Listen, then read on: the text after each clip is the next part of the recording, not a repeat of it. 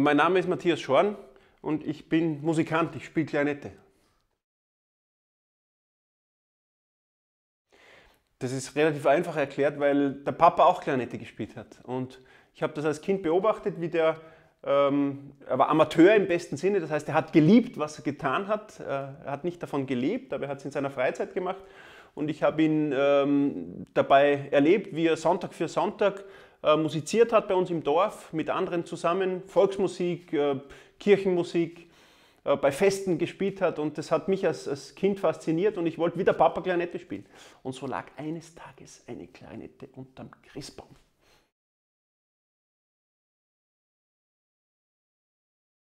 Ich glaube, man, man, man kann anfangen, wenn es passt. Also es ist auch, Kinder sind äh, unterschiedlich groß, die Hände von Kindern, die Fingern sind unterschiedlich lang.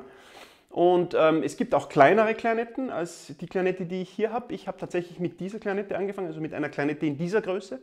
Aber man kann auch mit kleineren anfangen, mit einer C-Klarinette oder mit einer S-Klarinette. Ähm, wenn die Finger groß genug sind, so war es bei mir mit sieben, acht Jahren, waren die Finger groß genug. Da habe ich gleich mit der B-Klarinette angefangen und ich glaube, das ist ein super Alter. Also ähm, wie gesagt, wenn man möchte, kann man eine kleinere am Anfang verwenden und wenn die Finger schon groß genug sind, dann gerne auch schon die B-Klarinette.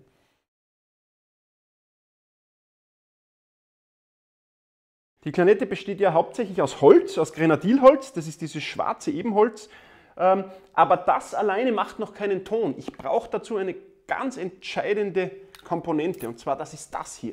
Das ist ein Holzblatt und das muss man leicht befeuchten. Weil wenn ich dieses Holzblatt nicht auf die Klarinette drauf gebe, dann kommt da nichts raus, äh, außer heiße Luft. Äh, dieses Blatt macht bringt erst die Luft, die ich da reinblase, in Schwingung. Und ähm, das ist wie gesagt auch aus Holz, äh, sieht ein bisschen aus wie so Eis am Stiel, nur ohne Eis. Ähm, und schmeckt auch so, nur ohne Eis. Und das kann ich hier auf das Mundstück draufgeben. Schraube ich es kurz fest und dann plötzlich entsteht da ein Ton. Und nicht nur das Blatt schwingt, das, die ganze Klarinette schwingt, ich schwinge, alles, was in diesem Raum ist, in dieser Werkstatt ist, alles schwingt. Und ähm, das ist äh, eine Energie, ein Zauber, äh, der, ist, der lohnt es sich, immer, aus, immer mal auszuprobieren.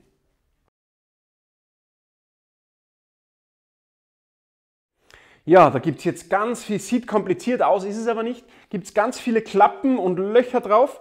Im Prinzip verwende ich alle meine zehn Finger und ähm, kann so durch die Bauart dieser Klarinette äh, chromatisch spielen, das heißt alle zwölf Töne, die es gibt in ganz vielen Oktaven. Und das Wunderschöne an meinem Instrument ist, dass es ähm, der menschlichen Stimme sehr nah ist und vom Tonumfang her wirklich kaum wie ein anderes Instrument von ganz tief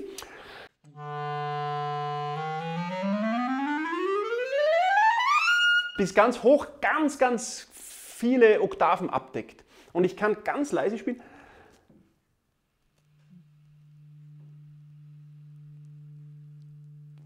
so dass man den Ton fast riechen muss und ihn kaum hört, sondern man muss ihn irgendwie entdecken, bis ich kann. Ich kann ganz schrecklich laut und, und, und, und spitzig spielen und das macht irgendwie total Spaß, äh, diese, diese ganze Bandbreite abzudecken.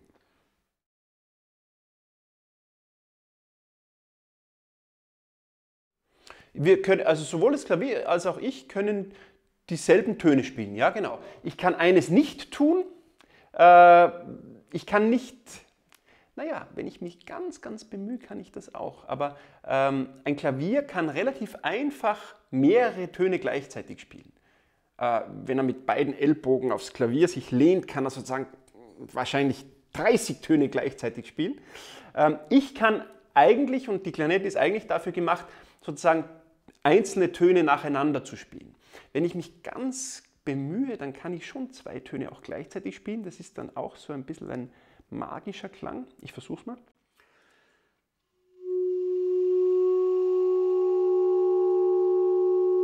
Dann kann man sogar mit der Klarinette, so ein, das nennt man dann Multiphonic, ähm, kann man sogar mehrere Töne gleichzeitig spielen. Aber normalerweise ist es eben so,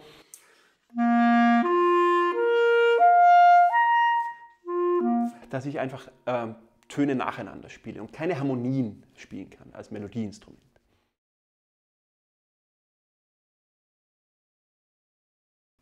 Ja, ich darf ja ganz viel im Orchester spielen bei den Wiener Philharmonikern und ähm, ich genieße das wahnsinnig, ähm, einerseits Teil eines großen Ganzen zu sein und mich da auch gut zuzuhören. Ist auch eine Lebensschule, was machen die anderen, wie passt man gut dazu, wo ist man wichtiger, wo ist man weniger wichtig.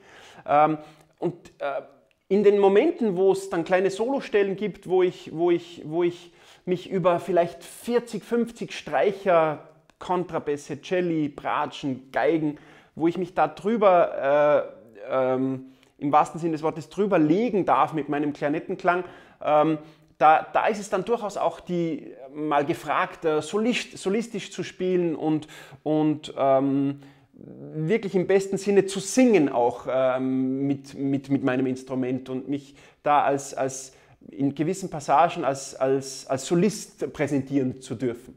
Und das ist natürlich wunderschön und gerade in Verbindung mit anderen Instrumenten, eben mit Streichinstrumenten, aber auch mit den Bläserkolleginnen und Kollegen ist das eine ähm, ganz, ganz eine wunderbare Erfahrung.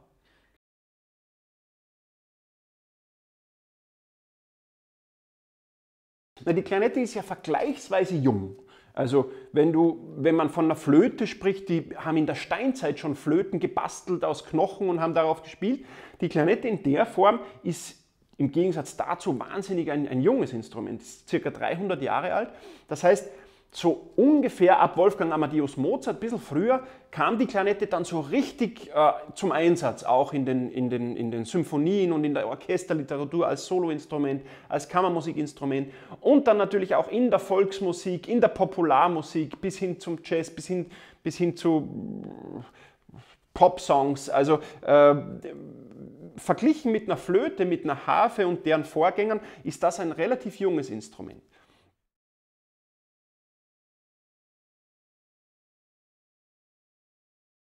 Aufgewachsen bin ich mit ganz einfachen alpenländischen Melodien, die ich mit meinem Papa dann gemeinsam gespielt habe. Ländler zum Beispiel.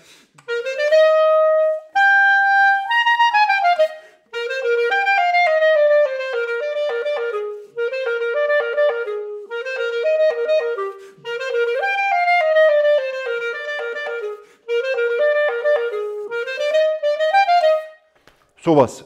Und mittlerweile bin ich äh, Mitglied der Wiener Philharmoniker und da spielen wir klassische Musik.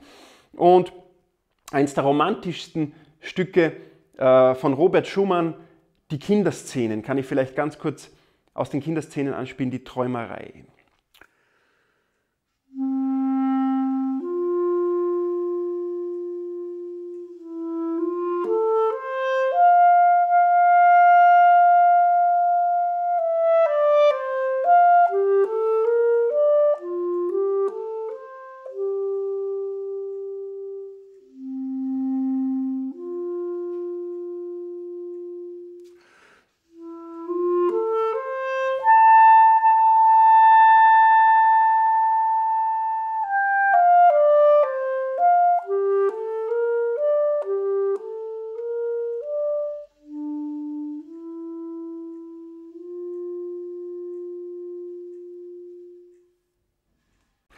Und die Verbindung zwischen diesen zwei Stilen ist für mich zum Beispiel jemand wie Bela Bartok. Bela Bartok hat in Ungarn gelebt und es gibt ja nicht nur Volksmusik im Alpenraum, sondern auf der ganzen Welt, auch in Osteuropa.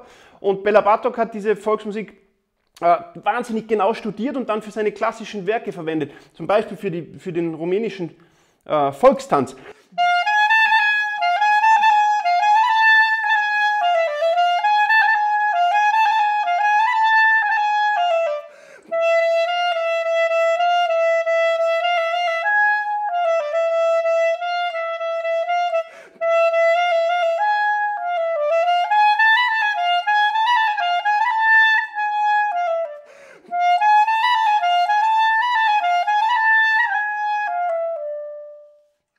Oder was ich auch ganz gern spiele, ist irgendwie wilde, gefährliche Sachen, weiß ich nicht, zum Beispiel aus dem Jazz, ähm, den, den, den Wildcat Blues, den wilden Katzen Blues.